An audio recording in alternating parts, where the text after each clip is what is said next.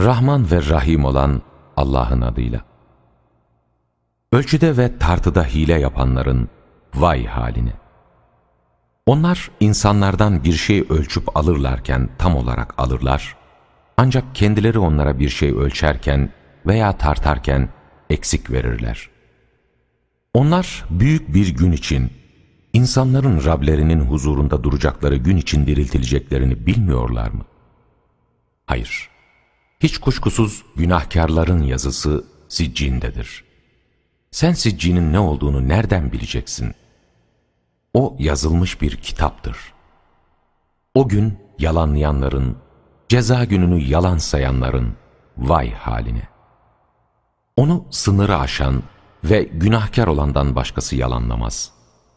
Ona ayetlerimiz okunduğunda o öncekilerin masalları der. Hayır, doğrusu onların yapmış oldukları şeyler kalplerinin üzerine pas olmuştur. Hayır, onlar o gün Rablerinden bir perdeyle ayrılmış olacaklardır.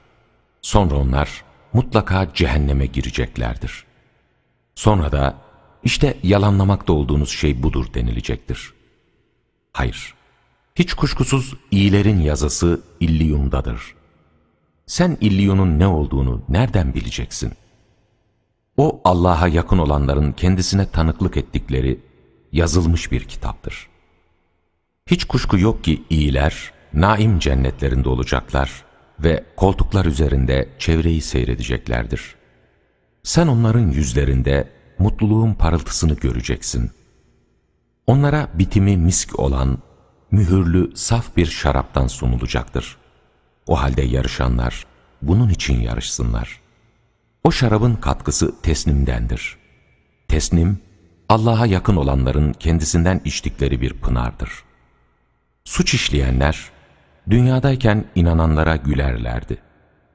Yanlarından geçerlerken birbirlerine kaş göz işareti yaparak onları küçümserler ve ailelerine döndüklerinde de yaptıklarıyla övünüp eğlenmeye başlarlardı.